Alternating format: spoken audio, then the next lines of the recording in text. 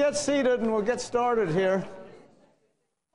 There's, I, I'm going to dispense with the long introduction uh, so we can get you as much information as possible. But my name is David Frame, and I'm um, a veterinarian. I'm the, the, extension poultry specialist for Utah State University. And um, so I think we're going to talk a little bit more about things that are more warm and fuzzy than maybe a spider and a wasp, I hope, in, in this presentation.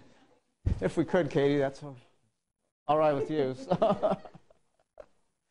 but um, it's kind of hard to put in 45 minutes everything to do with poultry.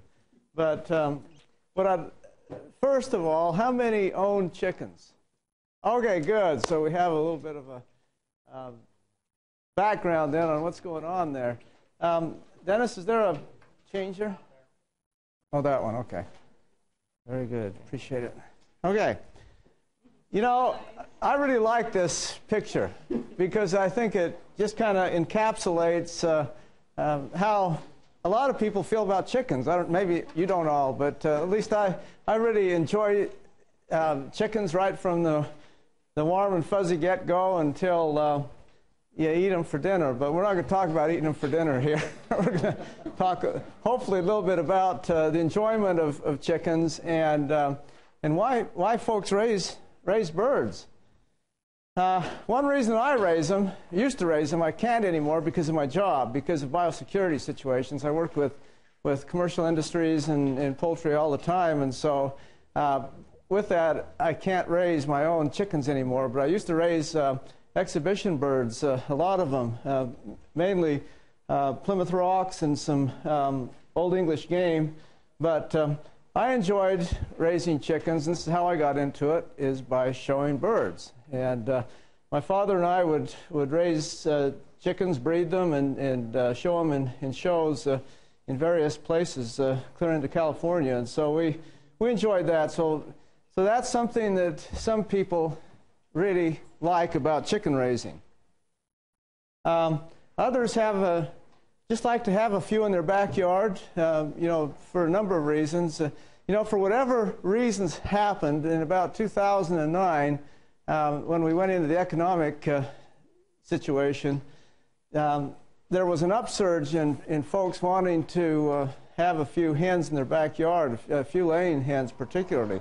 And um, at that time, there was uh, also a, an, an, upsurge of municipalities uh, wondering and scrambling on what to do about all this. You know, people wanting to have chickens in their backyard in, in suburbia, you know. And, um, and for about a year, I, I received calls clear from um, Moscow, Moscow, Idaho, clear into all areas of the West on, on um, city planners and things calling, you know, what do we do about this? And, and uh, I think it's settled down now. Most, uh, most places realize the benefits, hopefully, of allowing folks to have chickens in their backyard. And, and with that, uh, there's been a lot of uh, uh, thought put into this by different people on how can we integrate chickens into our yards and, and make, it, make the landscape look good, designer chicken coops, basically.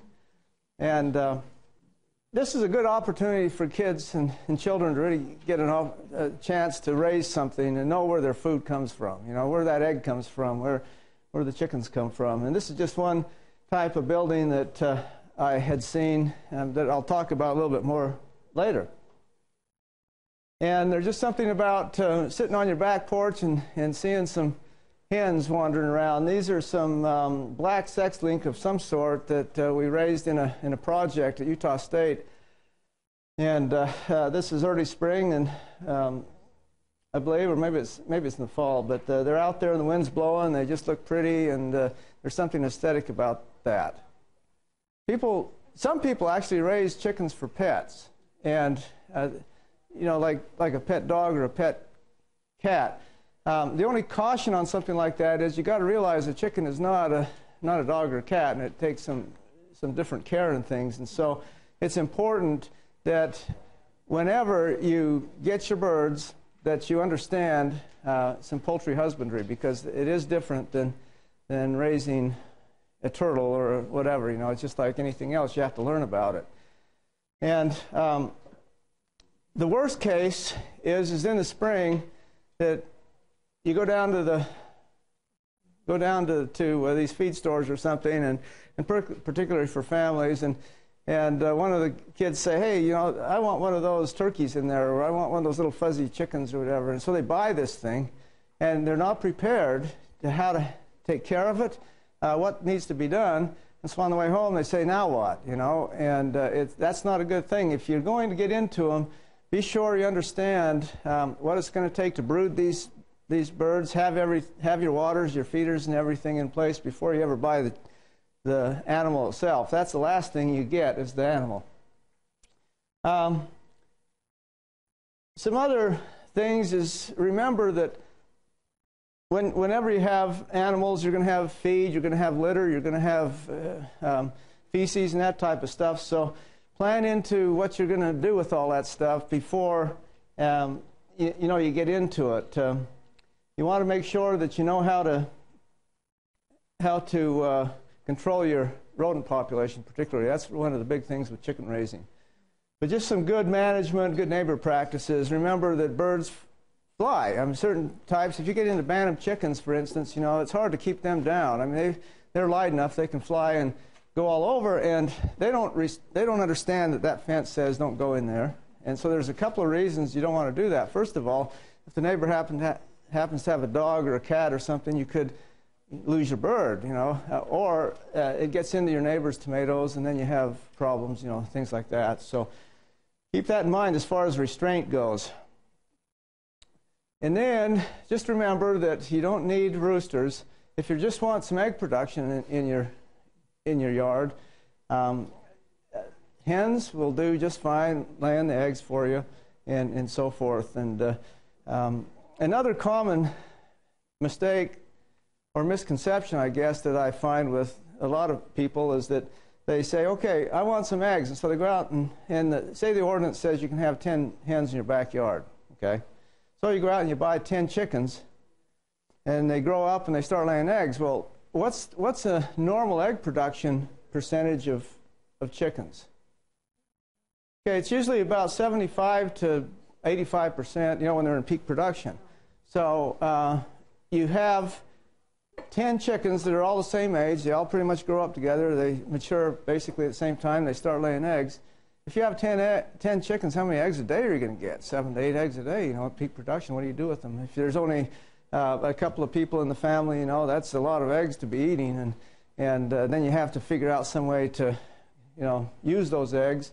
And, and so keep that in mind, too. For a, if you have a large family, maybe 10 chickens, but 10 chickens may be fine, but, uh, you know, six, I think most city ordinances have somewhere around six hens, I, I think is a normal. Um, it varies, but Six is a good number, you know, for an average family. First thing is make sure you understand what the restrictions and the, the rules are in your community. And each one is different. Um, you know, it would take us three days to go through all the ordinances of the different communities, and to tell you the truth, I really don't know them. I know what the generalities are that most of them are doing. But uh, make sure you understand what that is. And if you, in some places may require a permit, others may not. Just be sure you know what to do. And what about sick or dead birds? Is it legal in your area to put a dead carcass in the garbage can on the road where the garbage truck picks it up? Is it legal to bury it? You know, just make sure you know of those type of things because sooner or later uh, you deal with live animals, you're going to have to deal with dead animals too. And then make sure you understand what uh, what your local laws are too, as far as uh, if you decide to sell additional eggs or whatever. And the one thing that uh, you have to keep in mind too is that the commercial poultry industry in the state of Utah is pretty significant in the total agricultural economy of the state. And uh, those those folks go to great lengths for biosecurity and for health of their birds, and, and we don't want to do anything that jeopardizes the the possibility of disease getting into those flocks, and uh, because that could really be devastating. And so we want to make sure we understand um, some good biosecurity um, practices for our own flocks, just so that we can keep our own birds healthy too, and we don't go over to the to our neighbors. For instance, your neighbor has a sick chicken, and he calls you up and says, "You know, come over here and take a look at this bird. It doesn't look right." And so you go over and you get in there and you pick the bird up or whatever and you look at it. Yeah, you're right, it's sick. And then you go back and gather your eggs. You know, that's not a very smart thing to do because there's some very contagious diseases that can cause some problems. Oh, shoot. I thought I left this slide out. Sorry. but this is to introduce pest control. So, so snakes will get little birds like that occasionally. But uh, what you want to do is you want to make that environment as inhospitable as you can for whatever pest you have. And, and some of these uh, nice designer coops are great because they're off the ground, you know, and that type of thing. But just make sure you keep your feed stored properly and, um, and dispose of litter when you take it out of your buildings uh, in the right way. A, a, good way to use your use litter is to compost it and put it in your garden. I mean, that's a great, great way to do it. Now, one caution though is to make sure that you compost it. You can put just a little bit of raw litter in the garden, but what'll what'll have a tendency to build up, particularly in the litter, is that you'll get a little bit of salt uh, build up in there and then the other thing too is if you don't have enough nitrogen to your to your shavings ratio, then you're going to deplete the ni nitrogen balance there. And if you have too much, then you can burn your garden too. So um, I recommend uh, finding a place, using it for composting, and then you've got some really good stuff. Why do you want to con control these things? And we talked about the insects, uh, how to keep them alive. I'm not going to tell you how to kill them. I'm going to talk about the, the rodents mainly, but uh, uh the problem is, is that they can become a public nuisance. Whenever you have live animals of any kind in a, in a confined area, um, there's going to be a tendency to be a little more um, food available. And chicken feed is perfect mouse feed. I mean, they love that kind of stuff. And so you have to kind of watch that and make sure that, that uh, you don't want to uh, cause an upsurge of rodent population. But the other thing, too, is they can transmit diseases, both that infect the chickens and, and potentially can, can affect mammals too. Um, here's, a, here's a little gadget that works really well, um, particularly in areas that game bird places use, have used this, and, and they, they swear by it. But uh, you take some PVC pipe and you use about an inch and a half diameter pipe, and you just uh, make a T with it. Then you can get one of those screw cap covers on the top, and you put these along the walls. And the reason I like these is because whatever you put into it to re reduce your rodent population, um, dogs can't get in there, kids can't get in there. You know, nothing can really access that bait. And, and the mice will run along, go in there, eat a little bit, go out, and eventually die. And um, there's, a, there's a lot of different types of uh, rodenticides that you can use there. Um, but one question I get all the time is, okay, if I've killed these mice with something and they, they die and the chicken eats them, what's going to happen? Well, uh, I've never seen a chicken poisoned by eating a poisoned mouse, but, I, but chickens, for some reason, will kind of pick at them if they happen to die in the coop. Sometimes they die and go other places too.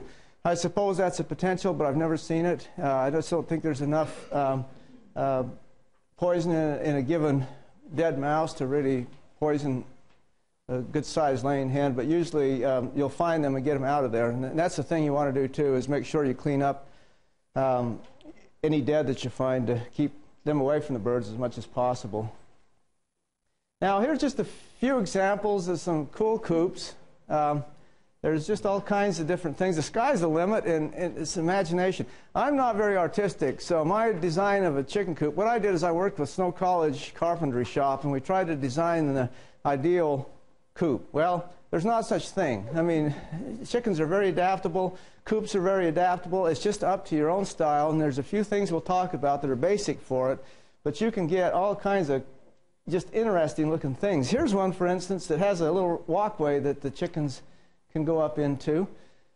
Uh, notice how they're, they're up off the ground. Um, I would probably in real cold climates suggest maybe insulating these, uh, you know, so that it keeps the chill off. You, chickens can take pretty much pretty cold weather, but if, if, if they're in the wind and uh, it's it's really cold. And then of course the wind chill will cause some problems too, and you can get some frozen combs and things. But basically, if you have a, a decently um, enclosed building, they can stay pretty well. Uh, one rule of thumb that I always use is if the water keeps freezing really quickly, then maybe you better stick a light or something in there to kind of take the edge off, you know. But here's one. This is a real small one for just a few birds, and there's the, the nest. You can open them up. This is my favorite, though. It looks like a barn. It's on the and kind of like, like this big wagon. You, you can gather your eggs right there, and you can just move the move this thing around. And uh, and this is the one that I thought was was pretty good too. This guy built this thing from scratch, and it looks like a commercially made uh, building. But he's got his his huge uh, door right there where he can scrape the litter out. Um, the nest box is in the back here where you can lift that up. And then in the front, I think I got a better view. Yeah, in the front, uh, you've got outside run for them. They can be right down on the ground, um, eating the grass or whatever you want to put them. Then they go back up and roost. And I don't think I have an inside shot, but they have some roosts in there um, also. And this is this is part that's kind of interesting. He's he's just uh, used these casters on a flip out a board there and so when he wants to move them, he just lifts it up a little bit. That thing falls underneath, and then he can move it around the yard or wherever he wants it, you know. Place here where he can get in and gather the eggs, clean those nest boxes out, and go from there. Let's talk about some basic uh, uh, equipment that you want in any building, where however you decide to, to build this thing, you want to have some place for the chickens to get into a, into a secluded area and lay their eggs. If you don't, you'll get a lot of what's called floor eggs, and they'll just lay in a corner somewhere. And, and that's really not the best idea because they, then they can get feces on the eggs and get them dirty and, and uh, step and tread on them and that kind of thing. So, um, just as a general rule of thumb, and, and there's a lot of variation here too, but if you have if you're building your nest from scratch, uh, you want something about a foot deep, and, and you want something over the front too um, to keep the, the material the bedding inside those nests. That's important. You want to have something in there because if they're laying eggs on either dirty uh, boards in there or hard boards, you can have cracked eggs, you can have dirty eggs, and, and you don't want that kind of a situation. Here's just some examples of some nests. This was the most creative that, well, one of the most creative I've seen. Uh, they actually just took a fruit box, you know, and uh, stuck it over a laundry box and shoved them between two boards. They had two or three of these things, and these, they, they had some other types of nests in there too. And these chickens actually preferred this makeshift nest. Now, then also it was it had the bottom, so a lot of this straw fell out, you know, so you had to keep replenishing it, but it kept the material clear. Here's more of a commercial type uh, nest box. Um, now, the rule of thumb is, is you want one nest box per five hens, but don't go by that rule of thumb. Always have more nest boxes than you think you're going to need. And there's a number of reasons for it. It's just like we prefer different types of housing uh, and, and, and, beds. Chickens may like a different type of nest. And so um, you may have more shy birds using one over here and more aggressive ones over here. Um, having said that, I can tell you that you're going to put in five nest boxes and have five hens, and all five hens will try to nest in one box. And, and, that's, uh, and then what you have to do is try to figure out why they're doing that. You know, is it a little bit darker than the others? Is it more secluded or something like that? And try to provide some opportunities for them to uh, spread out a little bit. Um, if, if you all have them nesting in the same box, what are some problems there? What? Okay, one go, goes in, lays an egg, another one comes in, has its little toenails, you know, breaks an egg, steps on it, or whatever, as it's laying an egg. Um, has anybody had to deal with broken eggs and chickens really liking to eat broken eggs? That's a real, that's one of the worst contagious diseases that you can get into. And so um, that's one reason, um, obviously. And now another reason could be, depending on what, what strain of chickens you're using too, yes. You know, you ought to you ought to try to breed that thing and see if you can get something in there. Just have a little softer on the mouth, and you have a have automatic lay egg gathering. Um, depending on the breed. Now, if you're de dealing with some of these more commercial strains, like these white leghorns that are uh, commercial bred, they are bred to continue egg production without going what's called broody. And this is a change in the hormonal um, makeup of the brain. And uh, what they want to do is they lay a natural chicken. Let's take a red jungle fowl. It, it'll it'll lay a clutch of eggs, maybe six eggs or whatever, and then the hen wants to lay on them. I mean, she wants to set on them. She wants to hatch little babies. And so if you have um, a nest and you have five hens going in there, every time they go in that nest, they're going to see an egg. And then they start thinking that their, their brood is starting to get to the, the, their clutch is starting to get to the point where they need to brood it. And uh, so you can start having hens go broody, and once they go broody, they don't uh, they don't lay eggs. You know, then you have to break them up and, and get them started again. So there's a there's a number of reasons for that. Here's a here's some nests that are, uh, notice how it's under the window, so the window's not shining directly onto it. Um, here's a whole set of them. You don't want them, you want them at least 18 inches off the ground, but you don't want them so high that the chickens have to jump or um, fly to get into them because you will start getting some broken eggs that way. And another thing you might get are some more eggs with blood spots in. The, the way you get blood spots, the most common way that blood spots come in, in your eggs is as the chicken is ovulating, um, there's, and I'll show you a picture here in a minute, there's a, a, part called the stigma where the, where the yolk comes off the ovary. And uh, those little capillaries will break, and, and they break. Uh, if, they're, if these chickens are jostled around during that time of ovulation, um, that's when you're going to start having more of your, your blood spots. Uh, here's one that's um, just on the outside where you can gather them. So there's a, there's a bunch of ways. Now, uh, this is a bad picture, I know, but this is actually quail. What I want to show you is not the quail, but you can buy some netting that's uh, pretty lightweight that you can put over large runs of, of where your chickens are um, for two reasons. First of all, you want to keep your chickens in, but the main reason is, is to try to keep your other birds and, and other things out of there. Um, and so there, there's a number of ways to do it fairly cheaply. Okay, don't forget the water. Uh, we're going to go through this really fast, but I, uh, again, the guideline is uh, you want at least two quart founts per 25 chicks, one gallon per 25 um, birds. But uh, again, the rules of thumb really don't apply because if you have one chicken in there or if you have 10 chickens, um, you need more than one water, okay? Now, what are some reasons why you would want to have more than one water. Okay, yeah, good. So if they're out in the run, at least they have access to it and stuff. That's a good reason. Others? Okay, Murphy's Law is you go out, put the water in, go to work, and one falls over. That, that's, that's the main reason right there. The pecking order is real.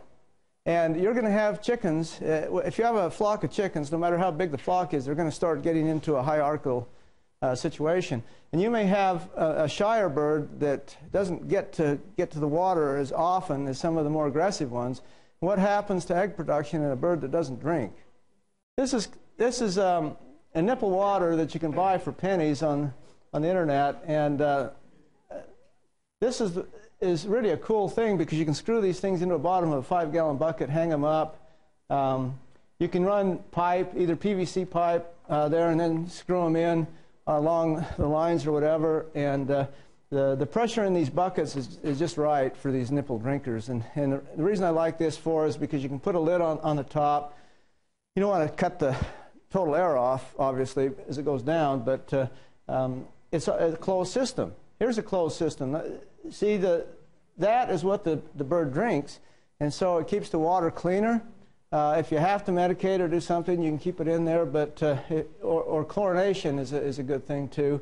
That a closed system will keep in if you do that, and um, you don't spread disease all the way down a trough or something like that. Luis, it drinks from this thing right there. This thing? Okay, these are basically the same thing. It's uh, this that you just drill a hole in the bottom of the bucket, screw those things in. It, and the chicken, yeah, you want to have it high enough. They have to have their, their beak up. Now, I would not recommend putting four in, in a bucket. I'd put three at the most. Uh, but have a couple of those. They're cheap to make. The pennies on, you know, for just pennies, you can find a bucket like that and put those things in. Then the other advantage is if you can hang them from something, they're not going to spill over and tip over as much too, and it'll keep uh, rodents and things off too. And the same principle goes for your, your feeders. If you use bucket feeders, if you hang them from a wire off the floor, you're going to have less problems with mice and things getting into it. But that's not to say that they can't, because I've seen mice come right down a, a wire, but uh, you're going to reduce that a lot, yes. That can be a problem. Now, it's the worst problem in turkeys. You'll kill all your turkeys if you don't wean them off onto this thing. If they're on an open water of some sort, like those Plassons or something, um, it, you can't expect a bird, you know, its brain's that big. You can't expect a bird to know, okay, that's where my water source is.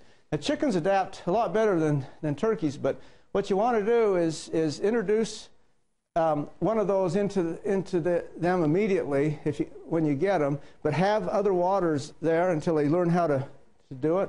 Because if you just take them away, um, if they're used to drinking out of a cup, for instance, um, and you take all those cup drinkers away cold turkey and have one of these lines there, yeah, you can have some problems. That's a good point. Good point. We're going to skip all this stuff. Molting uh, is something I want to um, briefly talk on. I think in the book I've got those uh, fact sheets on it, but this is a natural response, okay? Chickens are going to molt regardless, um, but uh, there's ways that, that um, they can molt that will uh, help you stay in egg production better. That's the reason why commercial people do what they call forced molt. The, they actually make the birds go in, uh, into a molt so they can get back into production. Otherwise, they get they their egg production gets really bad. They get more prone to disease and all kinds of stuff. But they will molt in a, in a specific way. And um, uh, you notice that, uh, let's take starlings for instance. Um, they have a, they molt too. All wild birds molt, but in the fall, um, you'll notice that, um, and in the wintertime, the starlings have these little white speckles all over the, their, their, their wings. Uh, they'll molt once a year in the fall, and that's what they get. Now in the spring, what do they look like? They're all shiny and, and things. And you think, well, they've molded all those feathers out. Well, they haven't molded those feathers. What they've done is they've worn off the white, and it's gone, and now they look shiny, and now they're ready to mate. So some birds will molt like that once a year. Some birds will molt twice. Chickens basically will molt um, once a year once they're adults, okay? And we can talk about the juvenile molts and everything, but we don't have time. So generally in the fall, when the light production goes down, they'll start molting. Now, uh, it's just like with everything else with chickens. You talk about theory, but things are a little bit different. But uh, the point here is, is that early molters that molt early in the fall or whenever they molt, um, if they can lose their feathers really slowly, but in late molting hens will produce long, produce longer before molting, that the egg production, but and will shed the feathers quicker. The advantage of late molters is that they that the loss of feathers and the replacement takes place at the same time, and this enables the hen to return to full production sooner. The two the two energy sources in chickens uh, for molting, or that are, are big in chickens is lay production and molting. And so uh, you don't want them to do that at the same time if you can help it. Here's just a wing uh, of a Rhode Island red showing the, the different feathers um, on the wing. And I've got 10 minutes, so I just want to tell you about egg production really quickly, just so you have some idea about it. This is the, this, whoops, sorry. This is the um, oviduct of a hen. This is the, the the uh, ovary, and every egg yolk, every egg that a hen will ever produce in its entire life is present when it's hatched. Okay? You never have to worry about it running out of eggs, though, because there's over 10,000 of these little creatures in here.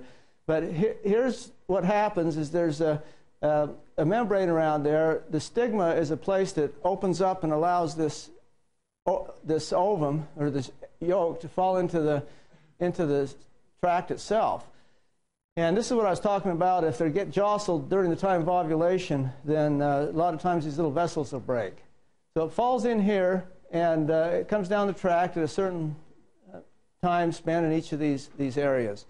Um, I'm giving some presentations next next month, and if any of, of you are interested, watch out for that for those. There's one with lifelong learning, I think it is with U- University of Utah. There's a two-night session, and there's one with Utah um, University with the uh, UVU in in Provo too, and we'll go into this in a lot more detail. But what I want to tell you today is that you look and see that it takes a little over 24 hours for a hen to lay an egg from start to finish, okay?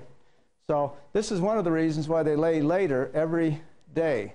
Um, and, and they go through a clutch, and then sometimes after they've laid a clutch of eggs, uh, uh, they may skip a day and then start again. Ovulation occurs um, at 20 minutes. This is interesting. At 20 minutes, not 28 or 30 minutes or 23 minutes, right after the egg is laid.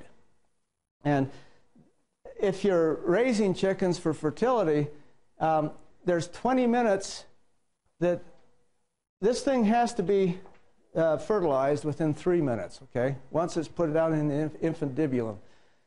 The sperm is actually stored in glands down here at the bottom of the oviduct, and, and those glands will release sperm at the time of, of oviposition, or at the time the egg is laid, and they have 20 minutes to get up to the top there and fertilize that and be there ready to go by the time that thing drops, and then they've got three minutes to fertilize. So it's, it's it could be, but actually with one insemination, they have enough uh, sperm in these glands to they can they can uh, fertilize eggs for two weeks. So okay, day length is important. Um, in the natural world, hens will lay their, their chicks in the spring. Um, you have increasing day length, and then they mature in the, in the fall.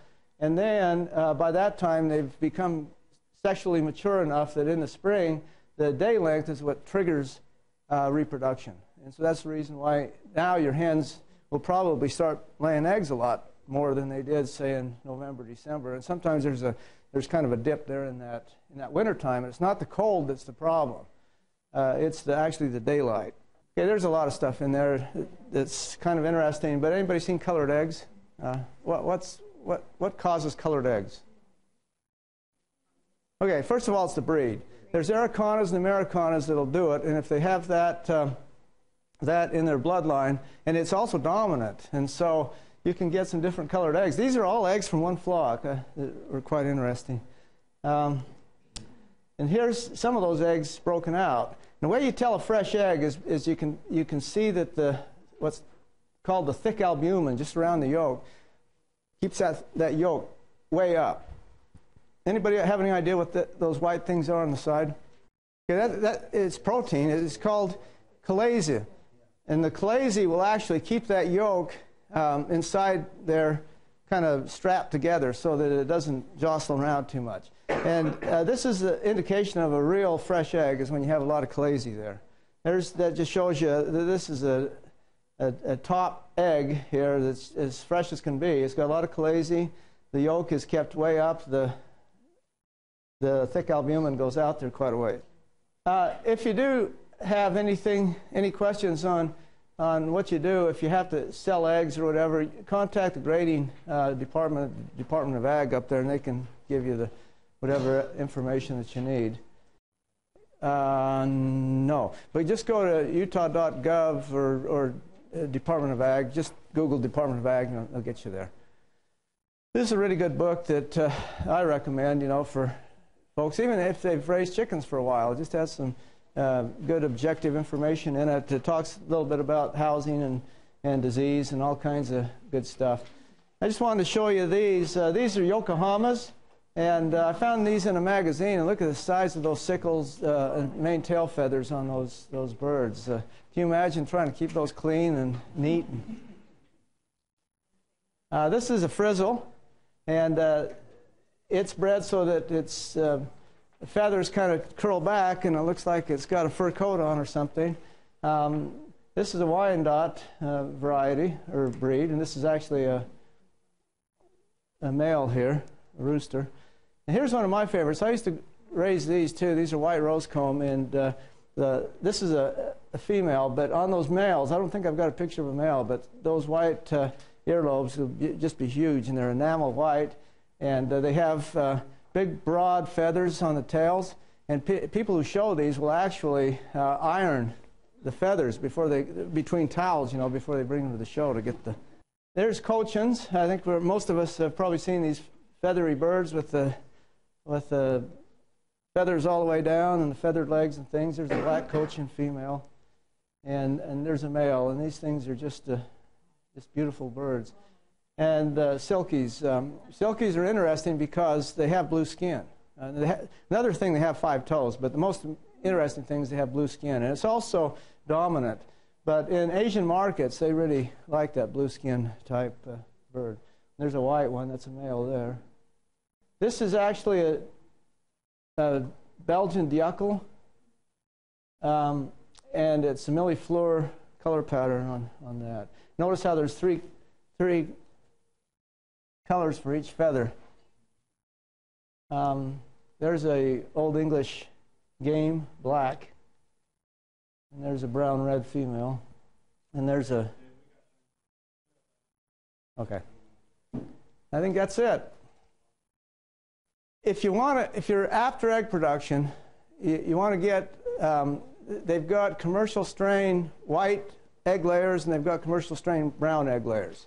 Okay, if you're if you're actually looking economically for that. Otherwise, it's up to it's whatever fits your fancy. That's why there's over, you know, 60 breeds of chickens and 200 varieties. I mean, um, there, there's really not a lot that are more disease resistant or that. There's some, the, the Sebrights, for instance, are a little more susceptible to Marek's disease, and some, there's some strains of birds that are, but basically it's just whatever, whatever you like. Now, the, the bantams are really good for small gardens because they can get in there and scratch around and not uproot trees and everything, you know and they can help with pest control and things like that too.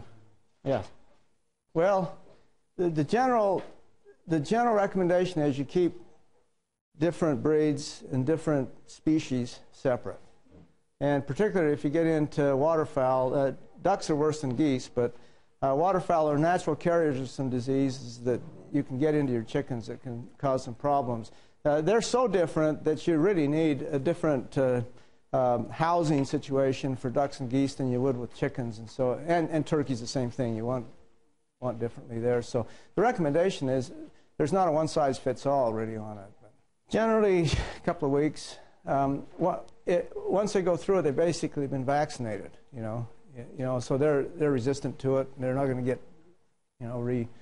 They're not going to get sick again from it, but uh, but they can't. You get a naive bird coming in. Yes, they can give it. To um, no. Uh, they, about two to three weeks after they've, they've been, become exposed, they create antibodies and then they become um, um, resistant to it. Uh, but also with Newcastle disease, they won't shed it very much.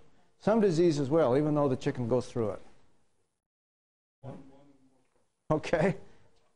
All right. You pick. You pick who who gets the question. Okay the way, the only way you're going to get rid of mycoplasma and to contain it for everybody else is get is is total depopulation.